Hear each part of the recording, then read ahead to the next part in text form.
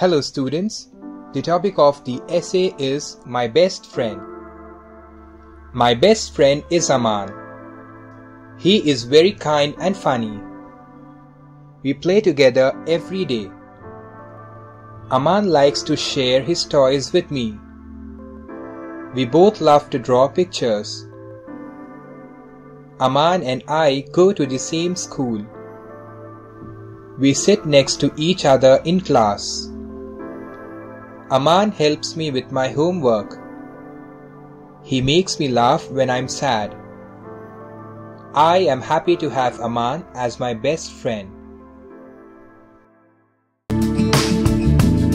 Don't forget to subscribe.